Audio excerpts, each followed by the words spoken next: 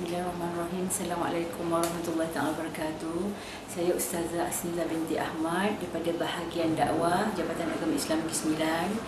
Uh, yang mana kita memang setiap tahun telah mengadakan program Mahabbah Ziarah Mahabbah di hospital-hospital seluruh Negeri Sembilan yang bertujuan uh, untuk uh, apa uh, menyampaikan sedikit bantuan kepada pesakit-pesakit dan menunjukkan keprihatinan pihak berwajib iaitu Majlis Agama Islam Uh, dan jawatan agama kepada uh, inilah pesakit-pesakit pesakit di seluruh Negeri Sembilan. Dan hamper yang kita sampaikan adalah berjumlah lebih kurang 300 lebih dan setiap hospital kita sampaikan dalam 70 buah hamper melainkan hospital Tengku Jaafar kita telah menyediakan 150 buah hamper.